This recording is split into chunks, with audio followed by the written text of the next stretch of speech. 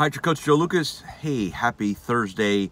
Hope you're doing well. And uh, the sun just came up here in uh, beautiful Melbourne, Florida. Watched it uh, come up over the uh, Indian River here. And uh, I'm looking forward for a great Thursday, and I hope you are too. Let's talk a little bit. You know, I was thinking this morning, I got up uh, a couple hours ago, way before sunrise, getting ready for my day. And, you know, I was thinking about, hey, what's going to share with you guys this morning? And what I thought about was, let's talk about the difference between active and passive. Now, I know for a lot of you, when I say active and passive, you go, "Oh man, is he gonna is he gonna talk about investing and portfolio management?" And and you know, no, no, no. You know, I'm not a CFA. I don't play with that space. To me, what active and passive means is how you approach your business, how you approach marketing, how do you approach business development. Do you have an active style?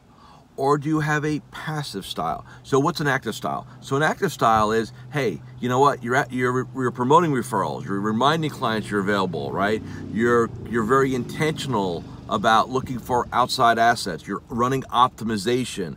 We do, you know, we have either through ourselves or through our business partners. We can do financial planning, asset management, insurance. We facilitate the estate planning, tax tax returns if necessary, lending, right? So we're very active there. We're also active in going out and connecting with our clients' other advisors. So their CPAs, their attorneys, uh, their property and casualty people. You know, we're looking to form that lifelong, long term network of referrals and, quite frankly, strategic partners. We're out there, right? We're also out there actively looking for strategic business opportunities, right? So we're looking for advisors who, you know, have gotten to the point in their career where they're ready to transition uh, to more retirement, or they want to at least sell a segment of their business and and retain some because they want to just slow it down a little bit. You know, we're we're pursuing those opportunities. Active also means you're pursuing talent. You're always looking if you're if you're going to run unless you're running a lifestyle model. If you're running an enterprise or ensemble model, right, you're going to be looking for talent. Remember, the three things every business needs in our industry to grow the psychology of the leader, i.e., you, talent, i.e., who you attract, systems, what you build. Three things, right? You got to have them all, not two out of three, not one out of three, all three, right? So are you are you active in seeking those out? Next, are you active in seeking solutions? Are you active in making yourself better? Are you active in taking care of your body? Do you really have that active style? Now, what's passive look like? Well, exact opposite, right? Hey, I hope shit happens, right? I hope I get some referrals. Where am I going to get business? How do I make my month happen? Right? All that, all that stuff, right? You're, you're, you, you feel like man, you're just hoping and and you hope you get some luck, and you're just, you know, you're, you're almost like a victim. You almost operate in scarcity. You have this very passive style, right?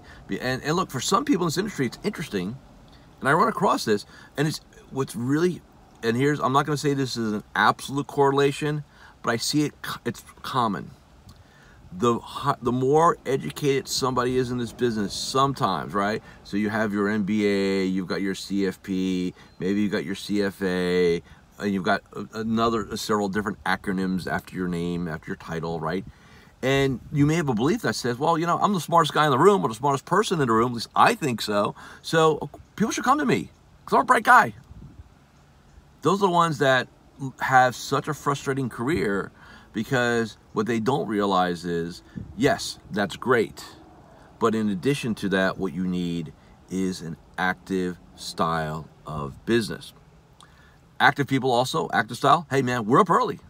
We go after it. You know, I got up today at 5.15, did what I need to do, got ready.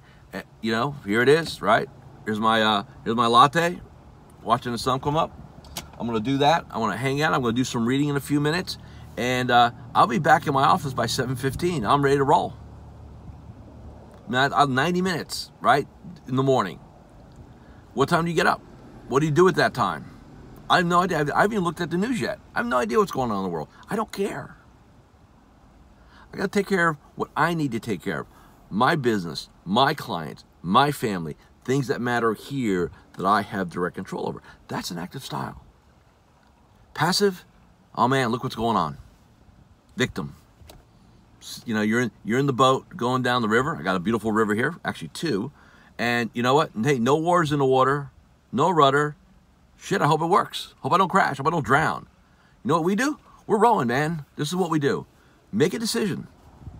It's never too late. Look, I know the average the average age of our industry is 58 years old. 50, it depends on whose whose prog- whose uh, report you look at, right? I don't care if you're 65, 70 years old. You still have 100% of your career left. Do something with it.